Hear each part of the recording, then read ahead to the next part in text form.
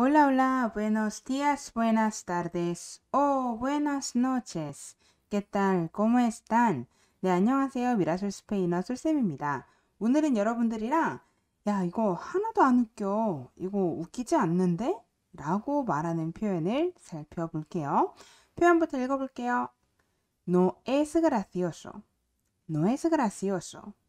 한 번 더. No es gracioso. 여러분들이 읽어볼게요. 자, 여러분들 그라시오소 하면은 그라시아스하고 전혀 상관없어요. 고맙습니다. 이거는 웃긴, 재밌는 이라는 표현이에요. 어, 그래서 여기서 직역하면 말 그대로 웃기지 않다라는 표현이에요. 우리 한번 예문으로 이 상황 속에서 생각해 볼게요. 어떤 뭐 농담이나 장난에 한 친구가 막 웃어요. 근데 그걸 보고 야, 너 왜 웃어? 이거 웃긴 거 아니야. 하나도 안 웃겨. 한번 해볼게요. ¿Por qué te ríes? No es gracioso. 한 번 더. ¿Por qué te ríes? No es gracioso. 여러분들이 읽어볼게요.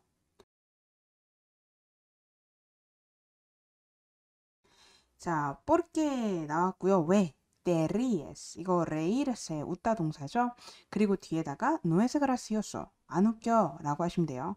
자, 혹은 두 번째 예문처럼 강조할 수도 있어요. 자, 누가 뭐 좀 짜증나는 농담이나 이런 걸 계속해요. 그때 ya basta. ya basta. No es nada gracioso. 한 번 더. ya basta. No es nada gracioso.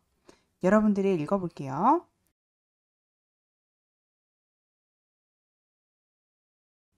여러분, 야, basta 하면 야, 이제 그만 좀 해. 이런 뜻이었죠?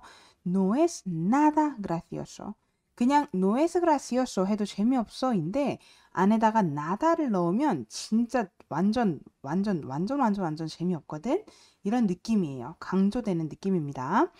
자, 오늘의 표현 es gracioso. 조금 더 강조할 때 es nada gracioso. 자, 오늘 표현 여기서 마무리하고요. 우린 다음 이 시간에 또 만날게요. Nos vemos. Chao.